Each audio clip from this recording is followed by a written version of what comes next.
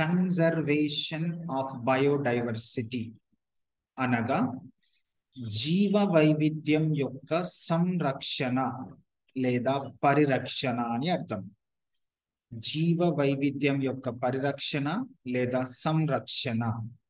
Conservation of biodiversity అనగా జీవ వైవిధ్యం యొక్క పరిరక్షణ లేదా సంరక్షణ అని అర్థం. ముఖ్యంగా రెండు రకాల జీవ వైవిధ్య సంరక్షణలు ఉంటాయి. ఒకటి ఇన్సైటు కన్జర్వేషన్ అనగా స్వస్థానీయ సంరక్షణ అని అర్థం. రెండవది ఎక్సైటు కన్జర్వేషన్ అనగా పరస్థానీయ సంరక్షణ అని అర్థం. ఇన్సైటు పరిరక్షణ లేదా సంరక్షణ అనగా స్వస్థానీయ సంరక్షణ.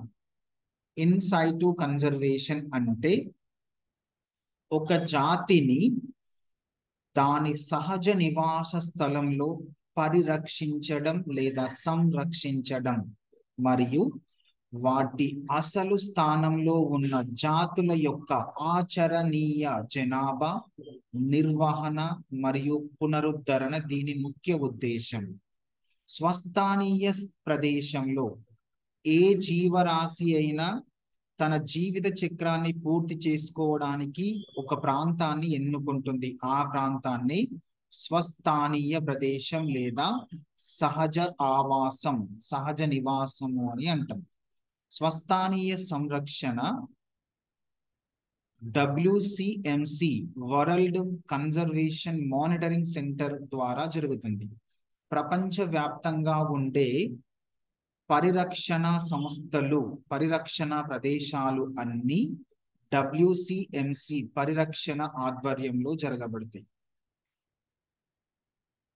సెప్టెంబర్ రెండు వేల రెండు వరకు భారతదేశంలో సుమారుగా ఆరు వందల ఇరవై ఐదు పరిరక్షణ ప్రాంతాలను గుర్తించడం జరిగింది. అందులో తొంభై రెండు జాతీయ పార్కులు నాలుగు వందల తొంభై రెండు శాంక్చరీస్ అంటే అభయారణ్యాలు.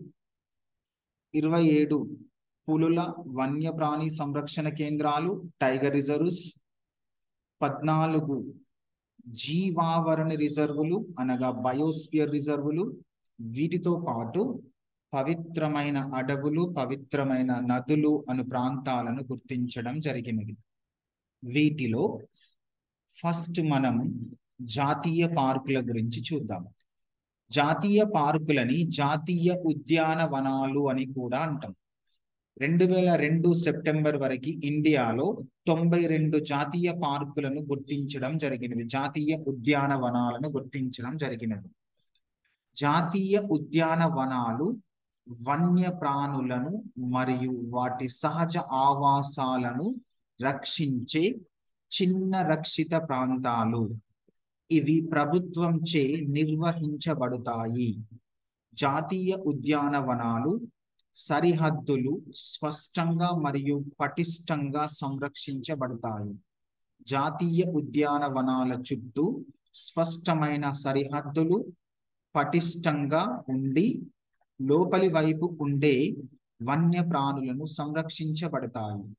జాతీయ ఉద్యానవనాలలో మేత వ్యవసాయం ఆక్రమణ మరియు ప్రైవేట్ భూముల అనగా వ్యక్తిగత భూముల హక్కులు వాటి కార్యకలాపాలు పూర్తిగా నిషేధించబడతాయి. నేషనల్ పార్కులలో అనగా జాతీయ ఉద్యానవనాలలో ప్రైవేట్ లేదా మానవ కార్యకలాపాలకు ఎట్టి పరిస్థితులలో అనుమతించబడవు. భారతదేశంలో ప్రస్తుతం సుమారు నాలుగు ఒక వంద నాలుగు జాతీయ ఉద్యానవనాలు గుర్తించబడినాయి. భారతదేశంలో ప్రస్తుతం సుమారు ఒక వంద నాలుగు జాతీయ ఉద్యానవనాలు గుర్తించబడినాయి. ఇవి భారతదేశంలోని ఒకటి పాయింట్ మూడు మూడు శాతం విస్తీర్ణంలో ఉన్నాయి. కార్బెట్ జాతీయ పార్కు నైనిటాల్ అను ప్రాంతంలో ఉంది. ఇది ఉత్తరాంచల్ రాష్ట్రంలో భారతదేశంలోని ఉత్తరాంచల్ రాష్ట్రంలో ఉంది. దీన్ని పంతొమ్మిది వందల ముప్పై ఆరులో స్థాపించడం జరిగింది. ఇది బ్రిటిష్ ప్రభుత్వంచే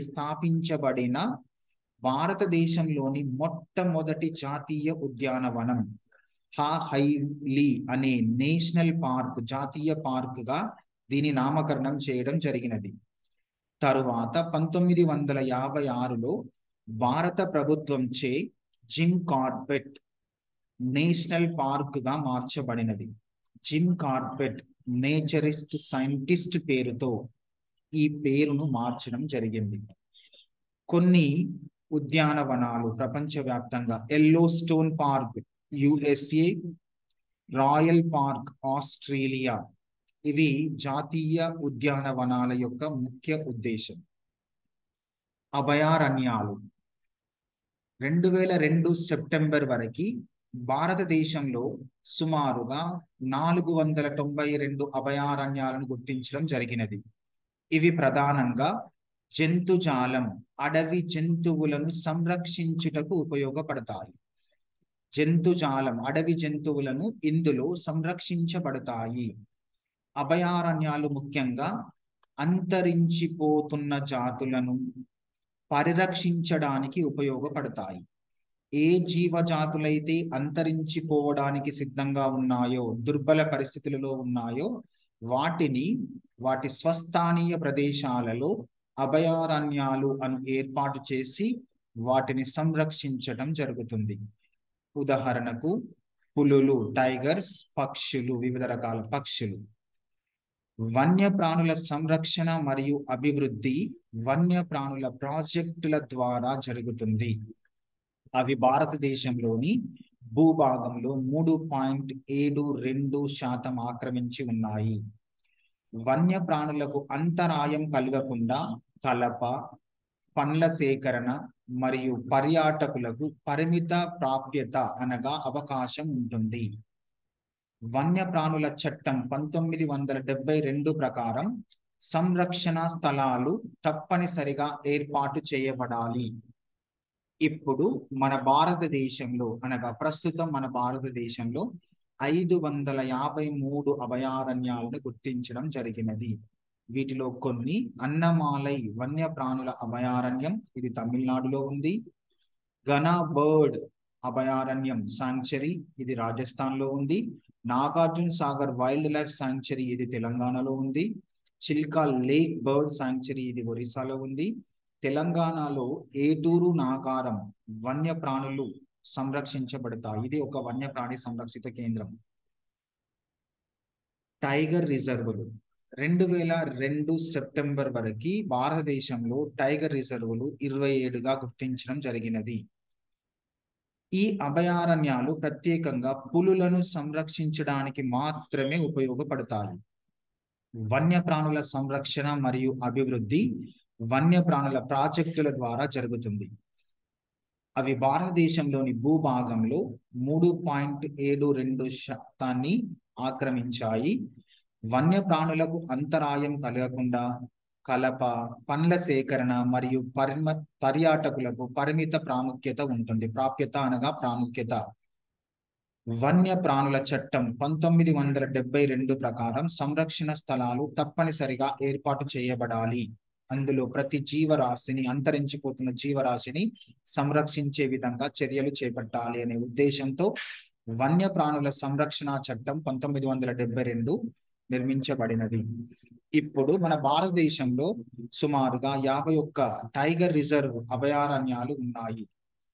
అస్సాంలోని కజిరంగా టైగర్ రిజర్వులు తెలంగాణలోని నాగార్జున సాగర్ టైగర్ రిజర్వులు మధ్యప్రదేశ్లోని కన్నీ టైగర్ రిజర్వులు కవ్వాల్ టైగర్ రిజర్వ్ తెలంగాణలో ఇవి ప్రత్యేకంగా పులుల సంరక్షణ కేంద్రాలుగా ఉంటాయి. బయోస్పియర్ రిజర్వులు రెండు వేల రెండు సెప్టెంబర్ వరకు భారతదేశంలో బయోస్పియర్ రిజర్వులు పద్నాలుగు గుర్తించడం జరిగినది. వీటిని జీవావరణ రిజర్వులు అని కూడా అంటారు. పర్యావరణ పరంగా సంరక్షబడి సంరక్షించబడిన ప్రాంతాలు సరిహద్దులతో సహా చట్టం ద్వారా మరియు బహుళ ప్రయోజనాల కోసం రక్షించబడే సహజ ప్రాంతాలని జీవావరణ రిజర్వులు లేదా బయోస్పియర్ రిజర్వులు అని అంటారు ఇవి మొదట వివిధ దేశాలలో పర్యాటక ప్రదేశాలుగా స్థాపించబడినాయి. ప్రస్తుతం దీని ప్రధాన ఉద్దేశం జన్యు వైవిధ్యం గిరిజనుల యొక్క జీవన విధానం వన్యప్రాణులను సంరక్షించడం వీటి ముఖ్య ఉద్దేశం. ఈ పరదీయ ప్రదేశాలు ఈ పరదీయ ప్రదేశాల వరకు మాత్రమే పర్యాటకులకు అనుమతించబడతారు. పర్యాటకులు పరదీయ ప్రదేశంలోకి మాత్రమే అనుమతించబడతారు. పర్యావరణ రక్షిత ప్రాంతం కోర్ మరియు బఫర్ మరియు ట్రాన్సిషన్ అనే మూడు జోన్లను కలిగి ఉంటుంది. బయోస్పియర్ రిజర్వులలో కోర్ ప్రాంతము బఫర్ ప్రాంతము ట్రాన్సిషన్ అనే మూడు ప్రాంతాలు ఉంటాయి. కోర్ జోన్ అనగా కోర్ ప్రాంతంలోకి మానవుని ప్రవేశం ఉండదు. మరియు కోర్ స్పేస్కు చట్టం ద్వారా సంరక్షణ ఉంటుంది. దీనిలోకి మానవ ప్రవేశం ఉండదు కాబట్టి చట్టబద్ధత ప్రకారం దీనిలో జీవరాశి సంరక్షించబడుతుంది. బఫర్ జోన్లోకి పరిమిత మానవ జోక్యం అనుమతించబడుతుంది. అనగా పగటి సమయంలో వ్యవసాయ కార్యక్రమాలకు మాత్రమే ఈ బఫర్ జోన్లో మానవులకు అవకాశం ఉంటుంది. అనేక మానవ కార్యకలాపాల పరివర్తన జోన్లోకి అనుమతించబడతాయి. అనేక మానవ కార్యకలాపాలు అనగా స్కూల్స్ బిల్డింగ్స్ ఫ్యాక్టరీస్ ఇంటి నిర్మాణాలు ఇలాంటి మానవ కార్యకలాపాలు అన్ని పరివర్తన అనగా ట్రాన్సిషన్ జోన్లోకి అనుమతించబడతాయి. ప్రస్తుతం భారతదేశంలో పద్దెనిమిది నోటిఫైడ్ బయోస్పియర్ రిజర్వులు ఉన్నాయి. అందులో ఒకటి నలమల్ల ఫారెస్ట్. ఇది జీవావరణ రిజర్వ్ యొక్క ముఖ చిత్రం. జీవావరణ రిజర్వులో ముఖ్యంగా మూడు ప్రాంతాలు ఉంటాయి. ఒకటి ట్రాన్సిషన్ జోన్ రెండవది బఫర్ జోన్ మూడవది కోర్ జోన్. ట్రాన్సిషన్ జోన్లో మానవ కార్యకలాపాలు అనగా హ్యూమన్ సెటిల్మెంట్స్ అనేవి ఎక్కువగా ఉంటాయి. ఈ ప్రాంతంలోనే మానవుని యొక్క నిర్మితమైన కార్యకలాపాలు స్కూళ్ళు బిల్డింగులు ఇంటి నిర్మాణాలు ఫ్యాక్టరీలు వివిధ కార్యకలాపాలన్నీ ఈ ట్రాన్సిషన్ జోన్లోకి పరిమితించబడతాయి. దీనికి లోపలి వైపు ఉండే ప్రాంతాన్ని బఫర్ ప్రాంతము అంటారు.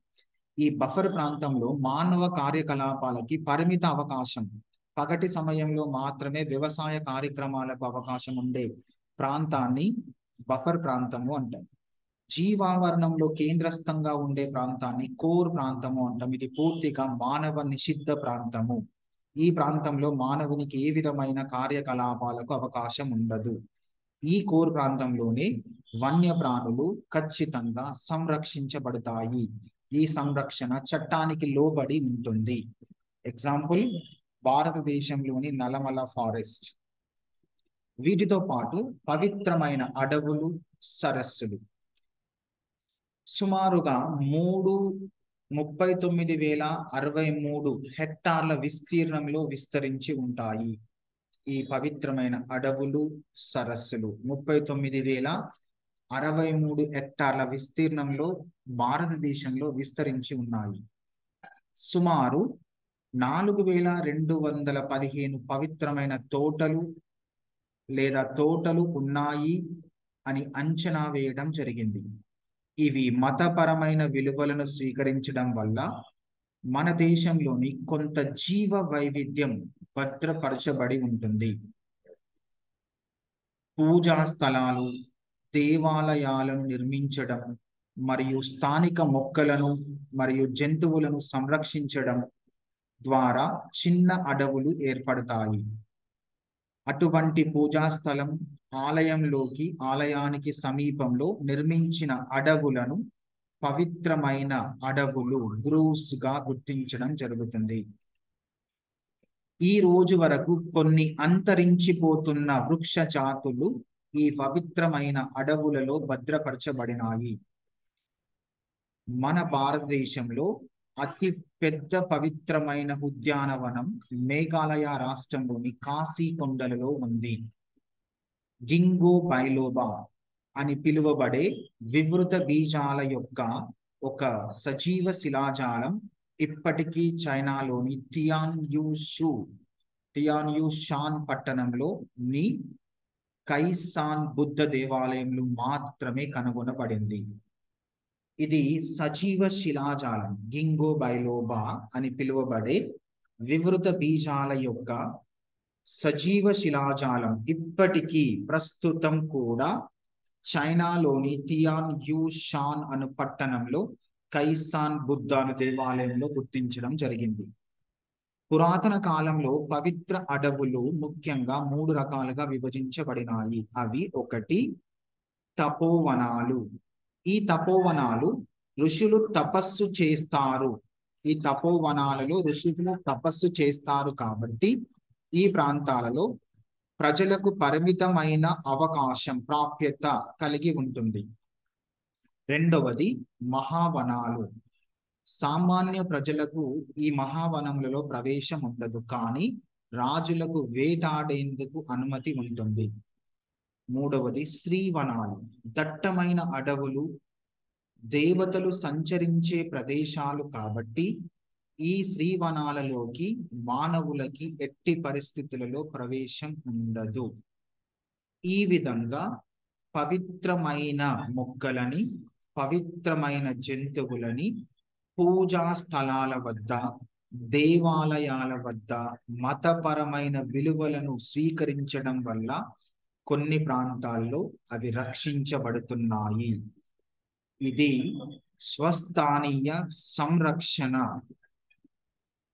స్వస్థానీయ జీవ వైవిధ్యం సంరక్షణ.